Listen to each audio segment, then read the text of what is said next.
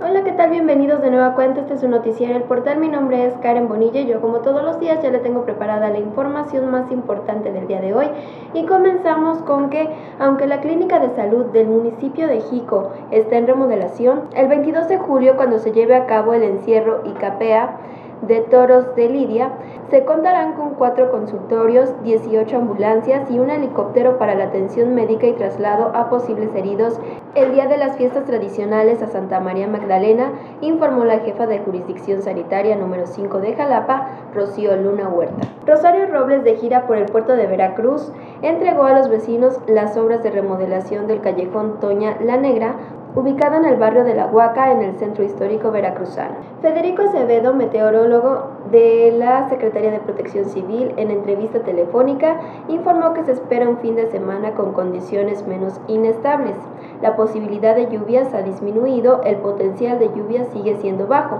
Habrá más periodos de sol con temperaturas más altas a lo largo de toda la entidad. El delegado de la zona norte del Instituto Mexicano del Seguro Social en Veracruz, Antonio Benítez Lucho, informó que antes de septiembre iniciará la construcción de la nueva unidad clínica para el municipio de Tuxpan.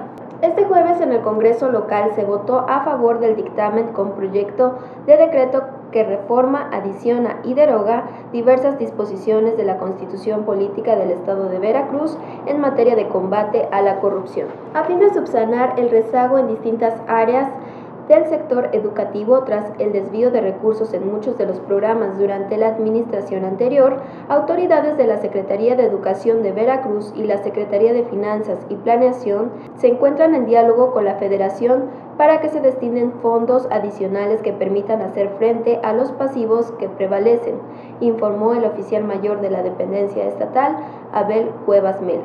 El diputado presidente de la Junta de Coordinación Política del Congreso local, Sergio Hernández Hernández, aseveró que la demora en el tema del sistema estatal anticorrupción se debió a que previamente se tomaron acuerdos entre todas las bancadas que integran la Cámara. La Fiscalía General de Morelos inició una carpeta de investigación por la muerte de dos hombres en el socavón que se abrió en el Paso Express vamos a llegar a las últimas consecuencias en contra de quien o quienes resulten responsables, sea la empresa, sea quien sea, prometió el fiscal estatal Javier Pérez. Y ahora sí hemos llegado al final de este noticiario y antes de irme los invito a que nos sigan a través de nuestra página elportal.mx y el portal de Renatita y Fatilú. También nos puedes seguir a través de nuestras redes sociales, estamos en Facebook y también estamos en Twitter. Mi nombre es Karen Bonilla y yo los espero el lunes con más información aquí en el portal.